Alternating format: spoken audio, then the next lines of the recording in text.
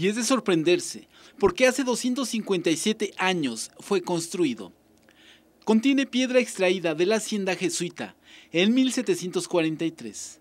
Colapsó el puente por el río crecido en aquellos años y fue reconstruido en 1760.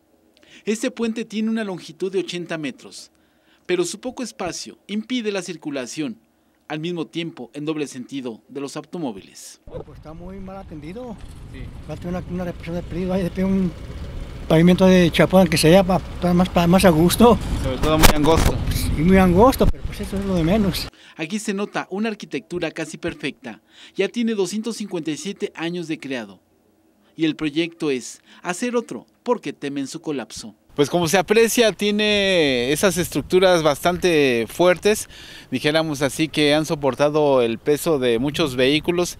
Ante todo, no se muestra ninguna cuarteadura, ninguna estructura que, pueda denotar fractura. Sin embargo, ya los estudios señalan que pudiera retirarse esta base y colocar otro nuevo.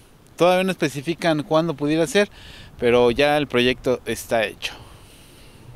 No, pues no creo.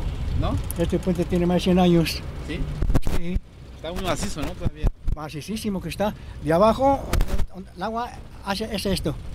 Sí. Aquí hay, hay pedazos que están a el agua.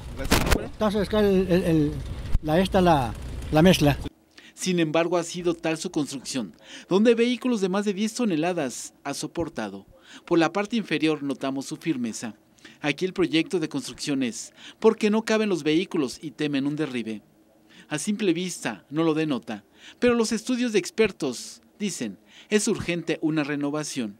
Este puente entra dentro de las joyas arquitectónicas de Aguascalientes, un ejemplo claro del trabajo hecho en aquellos años, donde no había universidades y la mano de obra era muy exacta.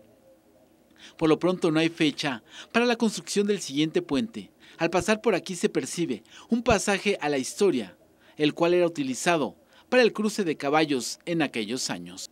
Con imágenes de Gerardo Santoyo para mi ciudad, Jesús Peralta Medina.